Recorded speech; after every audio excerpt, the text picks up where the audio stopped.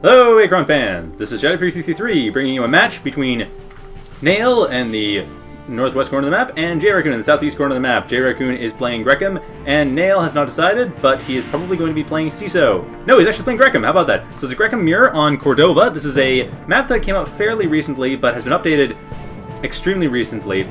It's been changed up to have more resources in the main and more resources in each expansion, but each expansion is very distant from the mains and from each other. So it's a lot easier to set up from your main. Expansion's a bit more of a decision, but expansion will still be necessary, of course, because your opponent can do it. But it also means that CESO won't be able to just expansion crawl, but Grekim will be able to build up in the main base. Vecgir I'm not so sure about, but we'll figure that out soon enough. Anyhow, both players are playing Grekim, so that sort of species balance concerns won't be a problem right now.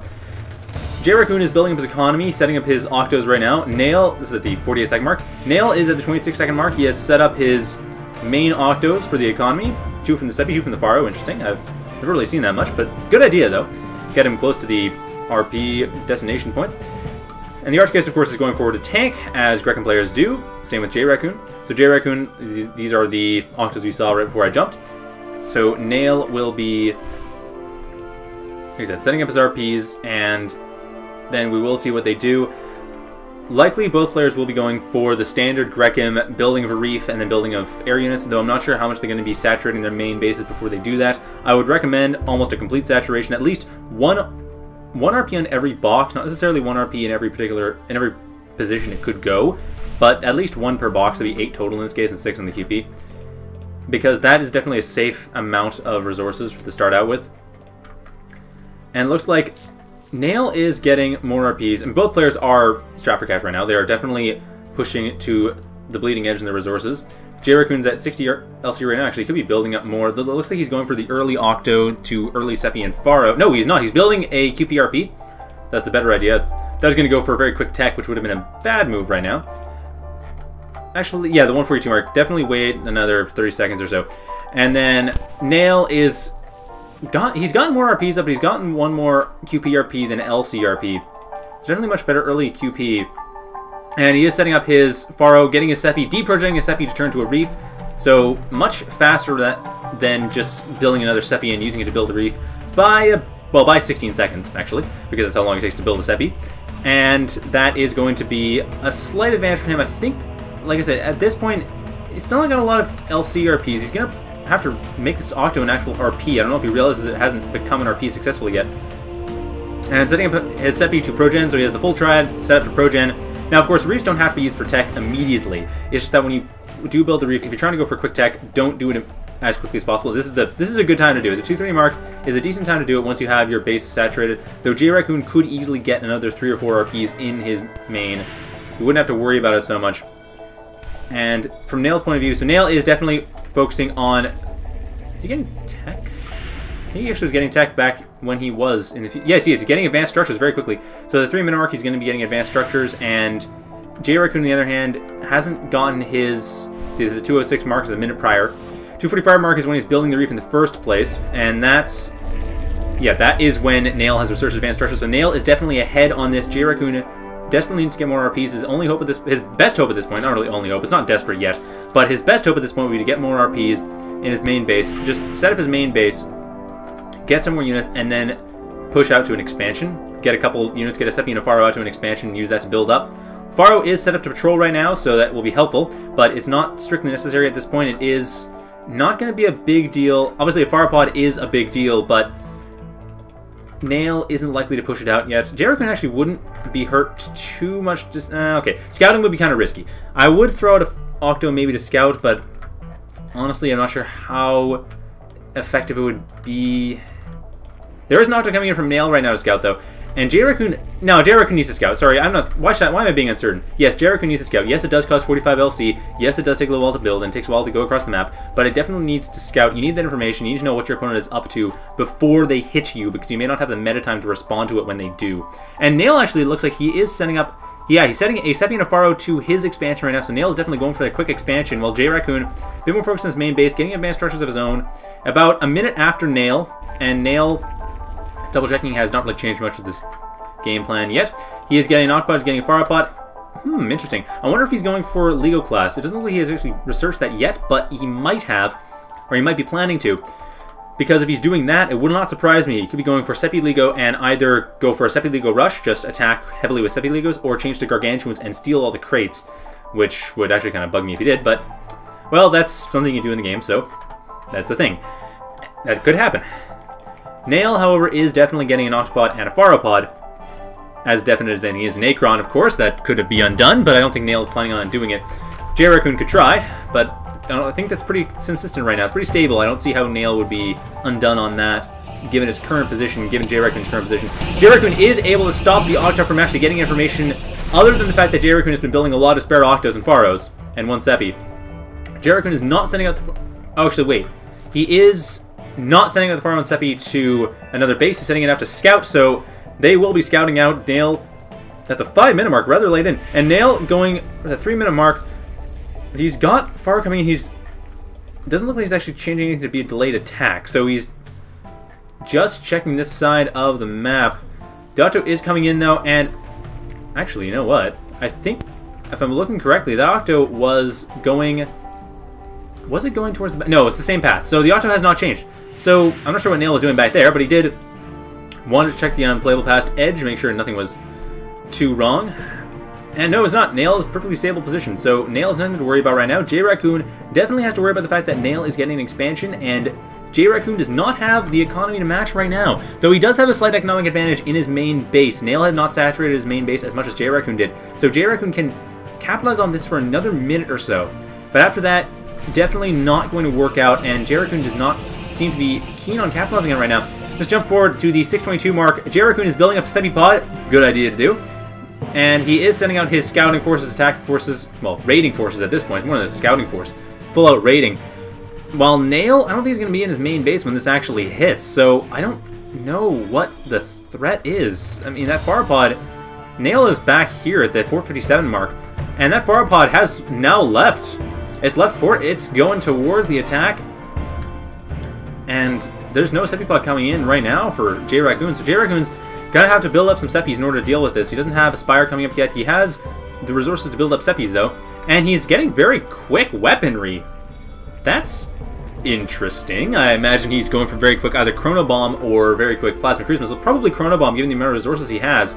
Plasma Cruise Missile would not be affordable right now. Octopods also are actually going towards Oh, going towards the southwest expansion. While Nale has started to build up the middle west expansion, getting a 3 LC and 2 RP, sorry, 2 QP RPs, which pretty much eliminates J Raccoon's economic advantage that he had running for most of this game.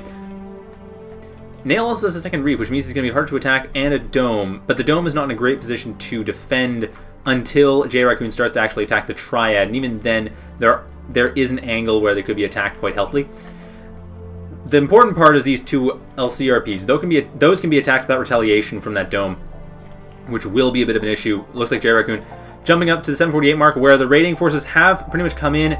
The Octos are attacking. They're on the move. Look like they're going to be going towards the Arcticus, but they might actually see... No, they're not going to see the RPs first. No, they are! J Raccoon has actually changed the order so they will be attacking that RP first, and that RP, like I said, is out of the range of the dome, so there's no automated defenses for Nale to use to get in the way of that. So this attack is going to be very damaging, assuming it goes through. And there is an Octo that's going to be coming up to help defend against that. No, this is the Octo that's there to build the RPs. Jumping back two minutes to the 602 mark when the forces were just being sent out and the Pharopod is actually being sent to J Raccoon's base. Pharopod will be able to attack without really any retaliation itself.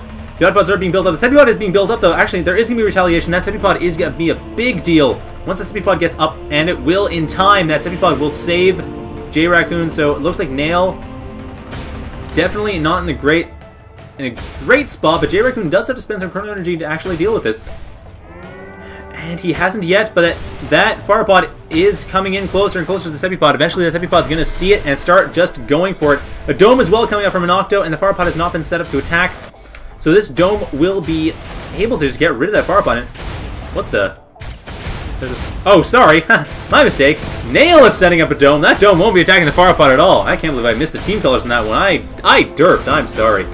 That was... That's Nale's dome. That's much more dramatic, but it's also much more useless. because there's better defensive forces than the Pharopod. So that's where the Pharopod wasn't attacking it, it had no reason to. But the Sepipod is going to chase away the Pharopod. Nale is not going to bother staying with this. But J Raccoon is just letting his Pharos die. Oh, good. The last Pharo managed to get rid of the dome in time, but for some reason the Pharos are moving away. Bad ordering timing, but it happens. Regardless, J Raccoon did successfully defend his base, and his raiding forces are coming in. They were damaged, though, in the meantime, from this Pharopod attack. That will be problematic. The Pharopod is scouting out the Middle East expansion to see if J Raccoon has actually attacked it. I mean, expanded to it. He has not. The Middle West expansion is the only one that's actually been capitalized on. Though the Southwest expansion does have some octaves in it yet, and J Raccoon looks like he's going to be... He's definitely got his eye on it. He wants to expand there. He's gonna have a hard time doing so. That's a difficult expansion to defend. It was meant to be very lucrative, but hard to defend, unlike the Northeast expansion, which is a lot less lucrative, but certainly much easier to defend with only the choke points here, up here, and down here. And this choke point's almost useless to run through, so pretty much the north north choke point. Anyhow, Pharopod is coming back for Nale, and has decided to decloak as well. The Autos are going to be attacking. This is now, the attack is now chronally consistent. This will definitely be going through, and that RP, like I said, going down, but Nale does have an economic advantage. She has a fairly large economic advantage, and the Pharo, the Pharo and Seppi are going to be able to just take care of the raiding force. I think this, this RP has not gone down.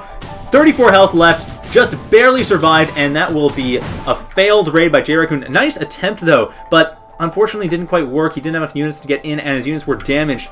Primarily, his units were damaged by that one attack. However, I don't know if one RP really getting killed like that at this point, Nale has enough of an advantage. He can just get away with it. He has a thousand. Is oh sorry. At that point, he had a thousand LC in the bank. Though he's getting chronoporting.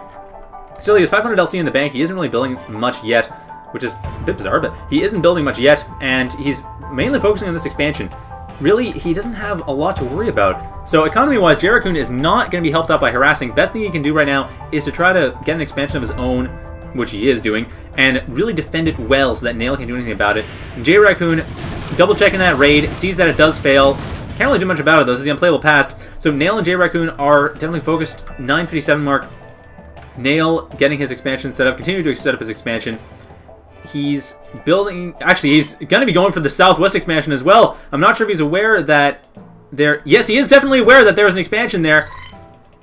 He knows there's an expansion down there, and his triad has been destroyed by J Raccoon's forces. So J Raccoon has, at least to some extent, defended that expansion. Obviously, it hasn't had a full-scale attack yet. Nale is pushing towards the unplayable pass and is likely to actually start sending a full-scale attack. There we go. The Pharopod, no, full-scale attack towards the main base. The Pharopod is definitely attacking the main base. Two Sepipods will be here to defend, and that Pharopod won't be able to go far. Should really be attacking the southwest base, the forces that were coming in that were attacking the southwest base before aren't, and the Pharopod has retreated as well, definitely the best idea. So right now, Leo class is being researched. There we go, that's what I was waiting for. So the Octopod and, Seb and Pharopod will be able to start building Seppi Legos, and that will be very difficult for J Raccoon to deal with. He doesn't have a lot of anti-air right now. He has Seppi pods, which are helpful, but he doesn't have any Seppi Legos. He doesn't have any... Sorry, well, Seppi Legos of his own would help somewhat. But he doesn't have any Sepis. The Sepis are the big one, and Octolegos would help as well, but Sepis are the big one. He also has Chrono Porting, though, so both players now have Chrono Porting. We're going to be probably seeing some really nice Chrono Porting shenanigans. Nale is in the best position to do this. However, J Raccoon has more QP. He doesn't have as many units to use it with, but he has more QP nonetheless. And the Octopod will be able to deal with the Octo. Nale is doesn't look like he's actually in a great position. Just double check. No, at some point double checking, I would know there'd be an alert that says the Chrono Port has occurred. But he is definitely in a good position to build up Seppi Legos. There we are. There's the Seppi Legos. I was looking for those. 11 minute mark. We have three Seppi Legos coming up and J Raccoon is going to be in a bit of a tight spot. His expansion here is going to be only defended by its own resources, not going to be defended by the main base. That's how the whole map was designed. You can't really defend expansions from other bases. But this is going to be a bit of an issue for him if he doesn't learn, if he doesn't use that knowledge to his advantage. Really, he could attack this base. I mean, use the knowledge, to attack this base, or just make sure to remember, defend this base. Defend this base with its own devices. Don't rely on the main. The main is defended as well as it's going to be, although really he could help defend it more. And like I said, they both have chronoporting. These Sepidegos are likely to be jumping back anytime soon. And J Raccoon is, he hasn't really, is he building up at all? He's got a lot of resources in the bank, but he's not really building up. So apart from his expansion here, he's getting, he's definitely getting a dome. He's getting an, that was likely a command mistake. That RP is probably meant to be a dome. Same with this RP. I'm not sure why the RP was just built in the middle. Like I said, I'm, sure why. Meant to build a dome, I'm sure. Hmm, bizarre. Apparently Nale's having some issues commanding his Sepiligos. But his Sepiligos will likely be chronoporting once that issue is resolved. I'm not sure what's going on there. Ah, there we go. Yes, there we go. So the Sepiligos are on the move towards the southwest expansion. J Raccoon is going to be in a tight spot to actually defend against this. And that is... There we go, Chronoport. That's the Chronoport. Or wait. I wonder if the Chronoport's happened. I, I nailed didn't follow it, so I don't think I can follow it yet. But there will be a Chronoport soon. Well, there has been a Chronoport. Nale jump back to spot it and yes, there it is. The Seppuku has Chronoported back. Unfortunately, didn't get the orders queued properly, so Nale's going to have to redo that Chronoport. And I think it's a bit too close to the unplayable past. He can't actually redo it unless he just finds a way to undo all that. No, he has two orders left. That won't be able to do it. So the Sepiligos will be there in the past. They certainly will exist, but they won't be able to actually do any damage right now, which is slightly unfortunate, because that would have been a great time to actually attack. So unfortunately, Nale didn't quite queue it out properly, and... Oh yeah, he tried to use the Arcticus queue. No. Arcticus orders do not queue. Dispatches don't queue. Regardless, the Sepiligos will be able to attack and deal some damage eventually. But that actually kind of undermined himself because Nale now, since that's, that Sepiligos Chronoport happened, J Raccoon's in a much better position to build up his defenses. Now I think Nale's a bit on the back foot. He's got a bunch of LC, but he doesn't have a lot of production going on. And J Raccoon really just needs to start getting some tech up, getting legal class of his own, and just pushing, getting another expansion even. Just pushing out a bunch of units, possibly Chronoporting to defend, but really getting this expansion well saturated, building it up, and then using that those resources to get more units, like he is right now, actually. It looks like he's going for exactly that. Getting a bunch of units, use those, take another expansion. Just get yourself an economic advantage, because right now, Nale has been in the back foot. He is definitely going for another Chronoport, but it is going to be one Sepipod, and that's about it. So the Sepipod is going to be Q's don't work with the Arcticus. And anyway, so the Sepipod is going to be attacking. It is going to be dealing some damage though. The Sepipod, the Sepipod has done something, but I don't think he'll be able. I don't know if he'll be able to kill that Sepi in time. It's hard to say.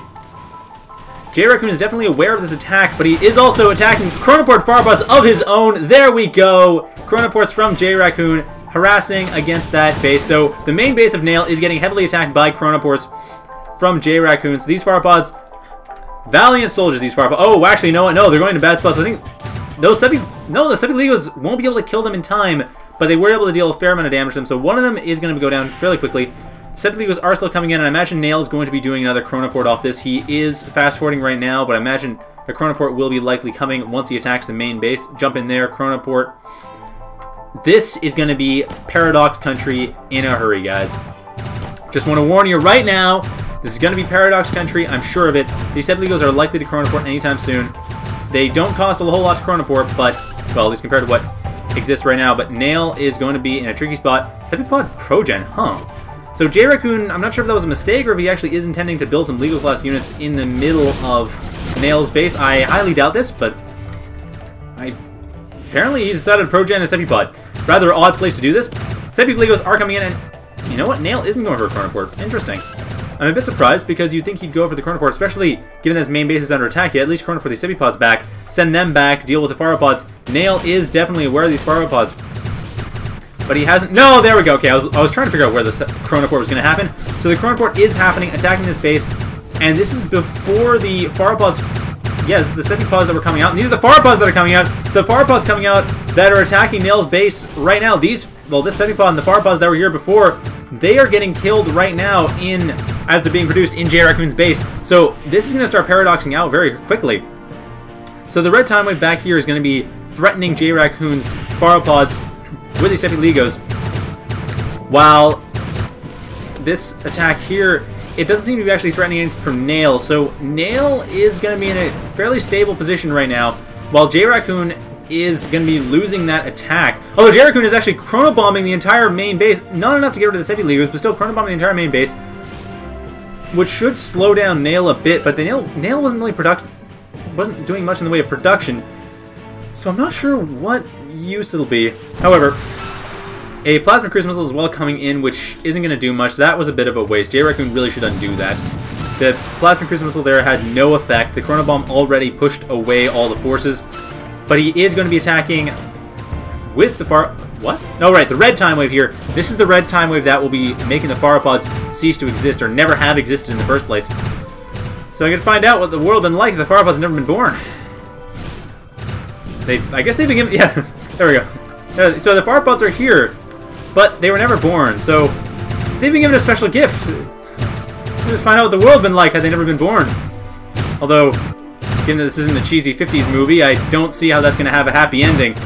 Sepiligos are definitely going to be destroying this base of J. Raccoon's. The J. Raccoon's expansion attempts have been thwarted and his main base is almost completely exhausted. So, like I said, he really he had the initiative, but he did not take advantage of it, which is rather unfortunate. Nale right now is getting back in the upper hand. His base has definitely chronoported back in. He hasn't been under heavy attack right now. His main focus should be this expansion. It definitely has been for Nale. Nale's been focusing on J Raccoon's expansion, and his own and Nale's own expansion has been slightly becoming his new center production, actually, or at least main resources. Like I said, though, he really should be focusing on. Sorry, J Raccoon should really be focusing on. Well, I guess at this point, either defending or just getting. This red time wave is destroying everything. It, it's destroyed this base. J Raccoon's entire expansion attempts have been thwarted the best thing you do with these RPs right now is move them to these boxes over here, these two boxes that are there just for the moving of RPs primarily. Sepipods coming in to try to help out. J Raccoon chronoporting back some Sepipods, but they won't be able to do any good. The Sepiligos coming in with the Chrono Clones will just, just tear apart everything. So these Sepipods are doing no good. The Sepipods over here are alive, but they aren't able to do much. I think they actually got permacloned. I'm gonna be frank, I think these guys got accidentally permacloned which is how they're able to stay alive despite having never been born, but frankly, that's not going to be enough. Pittsburgh's Jericho isn't actually attacking with them, but honestly, it makes no difference. These Sepiligos, more Sepiligos coming in from Nale, so that will easily finish off J Raccoon's base. J Raccoon's expansion has been destroyed. His main base is almost completely exhausted. There isn't really much for him to do at this point, other than, well, I guess other than get Legal Class and try desperately to make his own Sepiligos. Build up from there. Honestly, I think the best thing you could do right now is grab specials, get a Farligo, freeze bomb the Sepiligos, and then also get Sepiligos to kill them off, or get Octoligos or something. Well, no, Octoligos is too slow. But Farligos would help with freeze bomb if he got specials. Specials would have had to been gotten a while ago for chronoporting to help, but if he, if he got specials right here at the 1936 mark, right near the unplayable past, then by the time he got the Farligo out, he'd be able to go back, chronoport back, and use specials, use the freeze on the Sepiligos getting rid of the Sepiligos, actually freezing the main base even. Because that would completely shut down Nails, oh, almost completely shut down Nails production. Obviously, he has the secondary base in the Middle West, but he doesn't have the same level of production there. He's not, not as much going on. And he has three Sepiligos here, which would be very juicy targets, would allow J. Raccoon to get back in the game. As it stands, J. Raccoon is in a bad position, and it doesn't look like it's going to be any, any better. He is going for... Oh, you know what? He's going for Farligos, that's for sure. No specials, though. I'm not sure if he's where he needs specials to get the freeze bomb. Not a lot of people use it, so it's not particularly common knowledge. Like I said, he is getting... He has a lot of RPs that aren't doing much. And the Pharo from Nale is scouting out the expansion, so Nale is aware of what's going on. And... Yeah, Sipili was coming in as well. Dome Beam is being upgraded, which is going to hit one of the Sepiligos. Should help a little bit, but not enough. There's really not too much damage that'd be actually happening to it. So the Sepiligos are being chronoported back to help out, and no, well, there's just continuity, because obviously you don't want to propagate that before it comes up, but... And in case you're wondering, no, the players cannot see my line in the timeline, so whenever I move around, they don't actually see it. So if I jump back to check what's going on, they won't see what's happening, so I'm not going to give away whether or not a chronoport has happened at the unplayable past, because they'll never see my player they'll never see my player line, they'll never know. So don't worry about that, it's nothing inconsistent. It's not going to affect the game at all. Anyway, back to the game itself.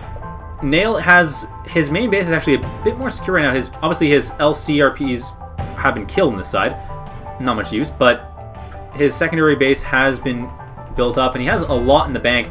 J Raccoon is far less in the bank. He has enough to get a few units, to get a small army going, but or a strike force of legal class units, or small army of base class. And here we go, getting specials. I think he's aware of what's going on now, and? Okay, was that a chronobomb or a plasma cruise missile? That was a chronobomb. Okay, so the main base is being chronobombed again, but J. Raccoon does not want to give that away. and neither will we because it'll jump over to make discontinuity. So J Raccoon is going to be attacking with Seppi Legos of his own, of course sending the Chrono Bomb in to get rid of any defenses. Really probably should be sending the Chrono Bomb here to get rid of all of these RPs, or at least stop that production for a little while. Nale does have the resources in the bank, but it could still help. And a Chrono Port has occurred as well. The Seppi Legos are being Chrono Ported back, attacking the Arcticus from the back, and well, if anything, Nale is commenting about undoing hierarchies. This is probably going to do it, at the very least. So the Arcticus is being destroyed in the unplayable past, so Nale will not have that as an option for him in the unplayable past. Once that blue Tidewave comes along, that will be damaging to Nale's command structure, but he really doesn't have enough to get rid of. And Nale is going for Chrono Port of his own. Looks like he is... See, where is he Chrono Porting units? It looked like he was Chrono Porting them from his... Now, it looks like he was actually Chrono Porting to attack that expansion back here, which I'm not sure what he'd be doing that for, but he did have a unit here, and it did Chrono Port back, so... Yeah. That's... I'm not sure why he Chrono Ported that Pharopod back. There's really not much reason to do so. It's not going to move much faster. Anyway, League is coming in from J Raccoon, and the Arcticus has been destroyed, like I said, in the unplayable pass. So J Raccoon's actually, he's put himself in a really great position. He's managed to recapture the momentum. And of course he has specials now, so he could freeze if he wants to.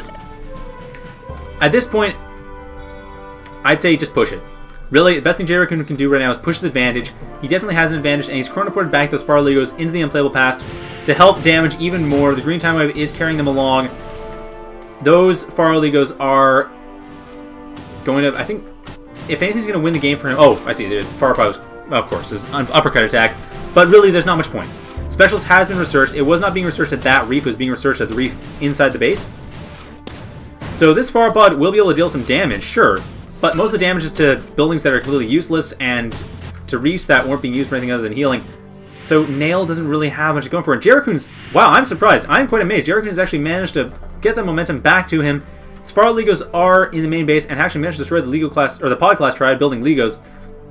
That being said, Nale is not dead yet. Nale does have a triad. He's building a Pod class triad in his expansion. He's got the Oddpod coming in to help the Sepipod, and the Sepi Legos are definitely there to help build up. So this isn't over yet. And of course, here's the Chrono Bomb base. So, of course, it wasn't dead. It's just Nale had managed to...